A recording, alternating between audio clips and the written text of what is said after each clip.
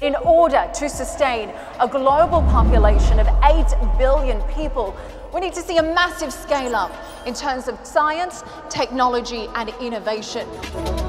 We must all continue to promote the adoption of advanced technologies in agricultural production, aligned with the UAE's climatic conditions, which necessitates all of us to adopt a sustainable agricultural system. What are the pressures that we face today that we can see and measure? What are the trends that are coming in that the newspapers are talking about, the analysts are telling about, my kids are telling me about? Where do these things come together and what does that mean for us?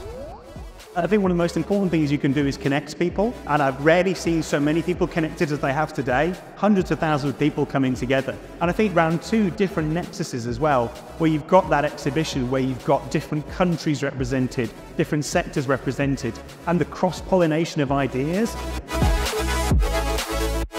Food is about connection. Being here at Gulfoods and being able to have our suppliers, being able to have our customers come to the table, discuss solutions, and also to showcase everything that we're doing, not only on the stand, but also take them to visit our operations, our factory here in UAE. I think this connection is something that benefits the ecosystem where everybody grows closer and ultimately just serves consumer better.